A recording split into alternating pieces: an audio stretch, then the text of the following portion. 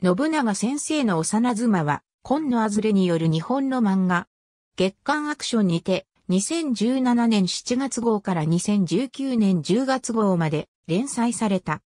織田信長の末裔とされる織田新英はハーレムを作りたいという願望を抱いているが、彼女ができることもなく、アラサーに差し掛かろうとしていた。ある日、信長は実家の蔵で割れた茶碗に触れた瞬間、空中から謎の少女が出現する場面に出くわす。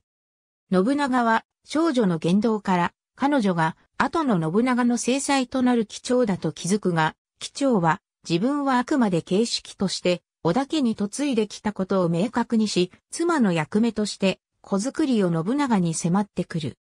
こうして夢の実現のためにあくまで好かれたい信長と貴長の攻防が始まるが、やがて信長の側室を名乗る転生者や、側室の魂を宿す者が信長の周囲に次々と登場する。信長は信長に関係ある人間ばかり現れる原因が、この世に残した未練にあるからではないかと推測し、それを断ち切るための手段を講じるようになる。生徒である、琵琶島満血に宿った、お鍋の方や、同僚教師である、星ヶ丘ゆりに宿った、自徳院を成仏させるのに成功するも、男だった、明智光秀が女性となって現れるなど、トラブルは続く。ある日、信長の父が蔵で見つけた日本刀に触れたことで信長の中にいた先祖の織田信長が表に出てきてしまう。